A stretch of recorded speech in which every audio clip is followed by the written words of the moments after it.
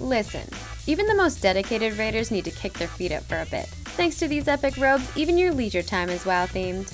And thanks to ThinkGeek, you can rock your transmog set IRL. Three lucky winners will get their choice of whichever robe they would like.